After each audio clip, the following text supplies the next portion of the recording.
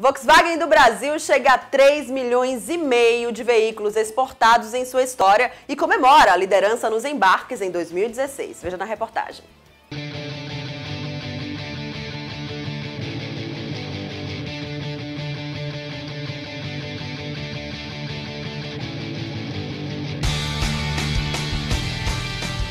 A Volkswagen do Brasil chega a 3,5 milhões de veículos exportados em sua história e comemora a liderança nos embarques em 2016.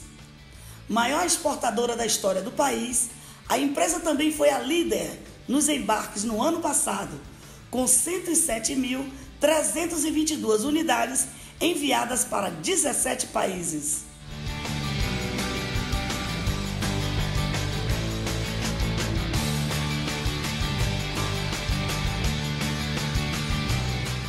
Em 2016, a empresa iniciou os embarques do novo Gol, do novo Voyage, da Nova Saveiro para países da América do Sul e América Central. Esse ano, a Volkswagen do Brasil deve atuar ainda mais intensamente nos mercados da América do Sul, América Central e Caribe.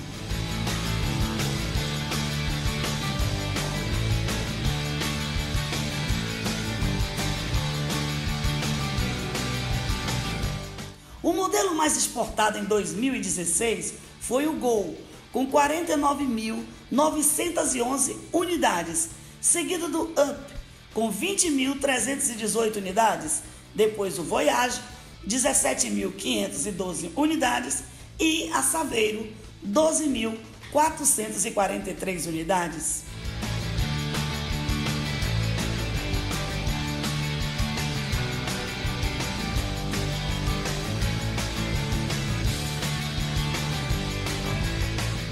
O principal mercado externo da marca continua sendo a Argentina, com 57.555 unidades embarcadas. A Volkswagen foi mais uma vez a marca líder em vendas no país vizinho.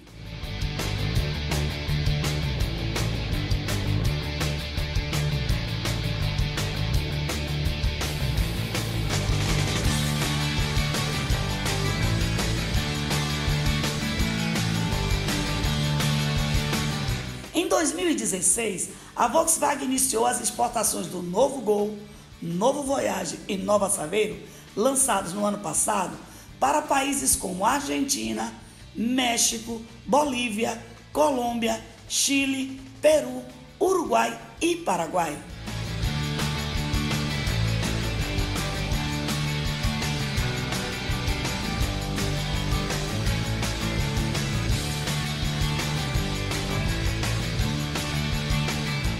A Nova Saveiro também abriu um novo mercado, passando a ser exportada para a Jamaica. A marca também iniciou a exportação do novo Gol e Nova Saveiro para Honduras, do novo Gol para Curaçao e da Nova Saveiro para o Panamá.